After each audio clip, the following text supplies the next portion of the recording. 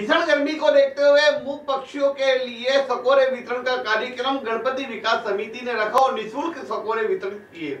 सामाजिक, सांस्कृतिक क्षेत्र में अग्रणी रहने वाली गणपति विकास समिति नीमस द्वारा द्वारा निरंतर जनहित व क्षेत्र की उन्नति के लिए कार्य किया जा रहा है। वहीं जीवदया परमो धर्म के उद्देश्य के साथ गर्मी के इस मौसम में पक्षियों के हित को ध्यान में रखते हुए मुख पक्षियों को दाना पानी आसानी से उपलब्ध हो सके, इसके लिए गणपति विकास समिति द्वारा क्लासिक क्राउन कॉलोनी के पास स्थित नवनिर्मित गणेश गार्डन गणपति नगर में प्रातःकाल के समय आमजन को निःशुल्क मिट्टी के बने सकोरों का वितरण किया। इसके साथ ही पक्षियों को खाने हेतु ज्वार, बाजरा व मिक्का मिक्स दाने भी वितरित किए गए। गुरुवार को करीब 150 पानी के सकोरों का वितरण हुआ। इस मौके पर गणपति विकास समिति अध्यक्ष एडवोकेट कृष्णपाल सिंह झाला, कृष्णकांत बेरागी वे बहुवैद मनीष चांदना मदनलाल शर्मा,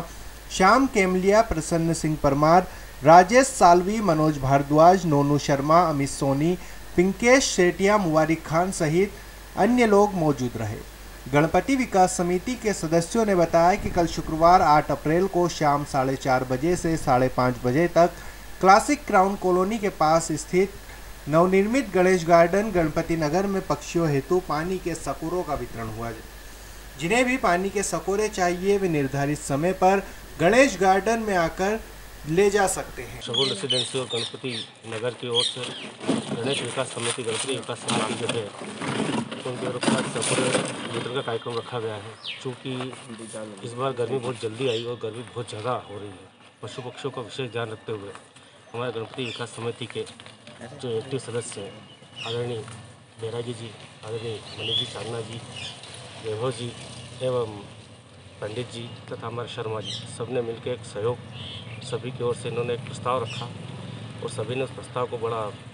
महत्व दिया और उसी आधार पर जो है आज सकोरा वितरण का कार्यक्रम रखा गया है ताकि कोई भी पशु पक्षी जो है इस धूप में इस भरी गर्मी में प्यासा न रहे और प्यास की वजह से उसकी जान न जाए उसके लिए विशेष तौर पर सकोरा कार्यक्रम का आयोजन आज लगभग कितने सकोरे वितरण किए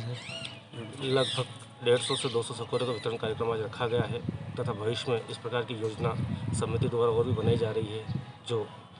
हम आगे चलकर इसका क्रियान्वयन करेंगे।